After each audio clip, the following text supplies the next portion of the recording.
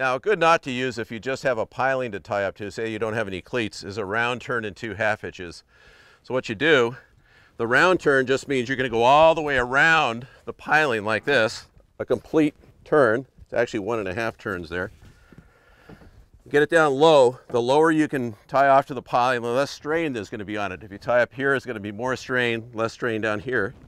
And then the half hitch part comes in here. You go back around to the standing part of the line. You pull it all the way through. That's a half hitch right there. It just it's it's halfway around the line, but you need to put a, a second half hitch on there to keep it from coming loose. So what I like to use is what's called a half hitch on a bite. I don't pull the line all the way through, but there's my second half hitch. And what I like about this is when you're done and you're ready to go, get, get back underway again, you can just pull on this and it's a quick release knot. And you can just untie the line. All the strain is being taken up by this round turn. This knot isn't going to jam on you. Those hitches won't jam. You'll be ready to go. So another knot that you can use to tie to a piling is a clove hitch. It's a very simple knot.